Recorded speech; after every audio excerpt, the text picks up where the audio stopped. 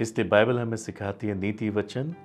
चार अध्याय तेईस पद में सबसे अधिक अपने मन की रक्षा कर, क्योंकि जीवन का मूल सूत्र वही है। हर एक मनुष्य को अपने मन की रक्षा करनी चाहिए। किन बातों से आपको अपने मन की रक्षा करनी है? परमेश्वर ने आपको और मुझे बनाया है।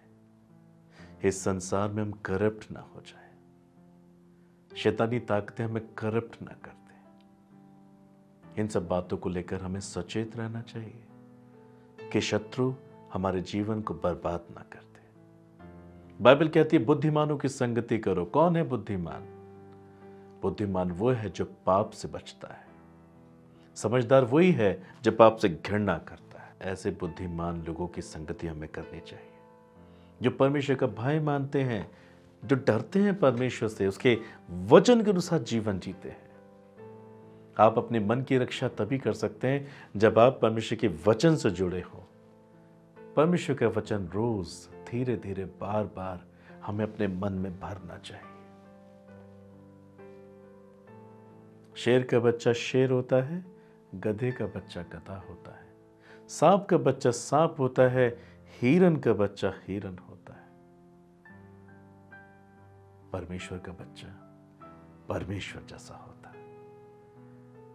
आप परमेश्वर जैसे स्वभाव को, परमेश्वर जैसे कार्य को, यदि चाहते हैं कि आपके जीवन से वो प्रकट हो, आपको परमेश्वर के वचन को अपने मन में भरना अति आवश्यक है। भजन संहिता एक सौ उन्नीस ग्यारह पद में हम ऐसा पढ़ते हैं, दाऊद कहता है, मैंने तेरे वचन को अपने मन में रख छोड़ा है कि तेरे विरुद्ध पाप ना करो। परमेश्वर का वचन ही है जो हमारे मन को पवित्र बनाए रखता है। परमेश्वर का वचन आप मनन करें, चिंतन करें। यदि आप परमेश्वर के वचन को नहीं पढ़ते हैं, उस पर मनन नहीं करते हैं, शैतान ऐसे मन पर राज्य करना शुरू कर देगा। यह ऐसा है, यदि आप अपनी ज़मीन पर घर नहीं बना रहे हैं तो कोई और उस पर घर बना लेगा। ये ज़रूरी है कि आप अपने मन पर परमेश्वर को राजा ठहरा दें परमेश्वर आपकी इच्छा के खिलाफ जाकर कुछ भी नहीं करेंगे।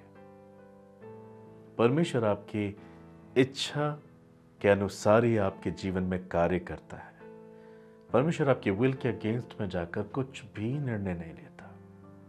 हमारा उद्धार भी इसी पर शामिल है। यदि हम चाहेंगे तो हमें अनंत जीवन मिलेगा। यीशु ने अपने दिनों में लोगों से कहा, यदि तुम विश्वास करते हो तो मैं ये कर सकता तेरे विश्वास ने तुझे बचा लिया, तेरे विश्वास ने तुझे चंगा किया। हम चाहेंगे तो परमेश्वर करेंगे। बुरा मन कभी भी सफलता हासिल नहीं कर पाता। बुरा मन हमेशा दुखी होता है, निराश होता है, जीवन में बहुत दुख उठाता है, जिस भी कार्य में हाथ लगाएगा, असफलता। परमेश्वर का वचन ही आपके मन को शुद्ध पवित्र करता है। प्रभु यीशु मसीह ने सिखाया मत्ती पंद्रह में, जो कुछ हमारे मुँह में जाता है, वो इंसान को अशुद्ध नहीं करता। पर जो हमारे मन से निकलता है, वो इंसान को अशुद्ध करता है, क्योंकि मन से ही बुरे विचार, निंदा व्यविचार गलत गलत बातें निकलती हैं। इसी वजह से इंसान दुखी होता है। परमेश्वर नहीं चाहते कि आप अपने जीवन में निराश हो।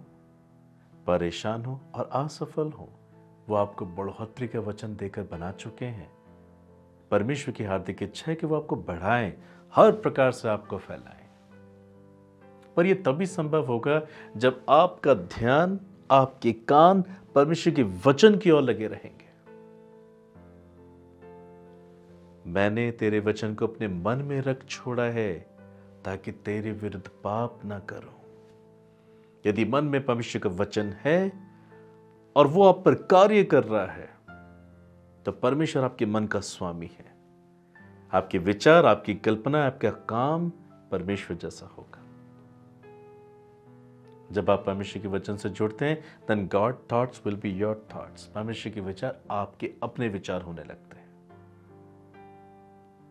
Then God's work will be your work परमेश्वर के कार्य आपके कार्य होने लगते हैं। परमेश्वर कभी असफल नहीं होता। धन्य है वो जो उसके वचन के अनुसार चलते हैं। वो भी कभी असफल नहीं होते। हालेलुया।